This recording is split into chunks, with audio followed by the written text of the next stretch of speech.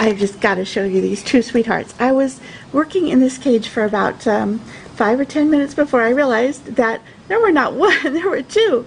This girl is named Tabby, and this is her very best bud named Mariah.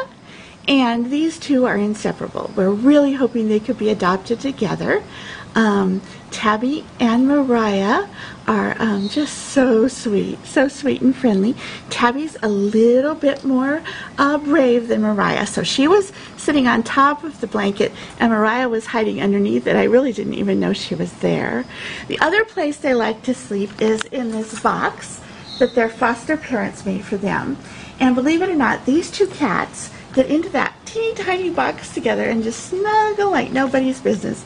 Usually there's a butt or an arm hanging out somewhere, but my goodness, they just love to cuddle and be near one another. So it would be great if they could go home. They are both beautiful, beautiful gray um, cats. Um, Tabby's fur is a little bit longer, and they both have such luxurious soft coats and the prettiest eyes. And look at Tabby's little tufts in her ears. Aren't they pretty? These two wonderful kittens would love to go home together. And until the end of August, their adoption fees are waived. So please come down and say hi to Tabby and Mariah, two lovely kitties who would love to go home with you and start sharing the love. This is Tabby and Mariah, available for adoption at Great Plains SPCA.